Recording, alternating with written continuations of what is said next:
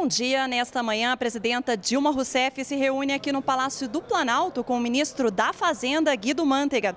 Em seguida, no Salão Nobre, a presidenta vai lançar o marco regulatório da mineração, com regras específicas para exploração mineral no Brasil, elaboradas pelo Ministério de Minas e Energia.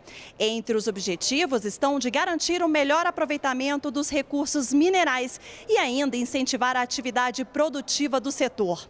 À tarde, às quatro e meia, o ministro da Saúde, Alexandre Padilha, vai assinar parcerias com laboratórios públicos e privados para a produção nacional de medicamentos biológicos. Eles são usados para o tratamento de doenças crônicas como hipertensão e diabetes. A medida vai gerar economia aos cofres públicos brasileiros. Daniela Almeida, direto do Planalto.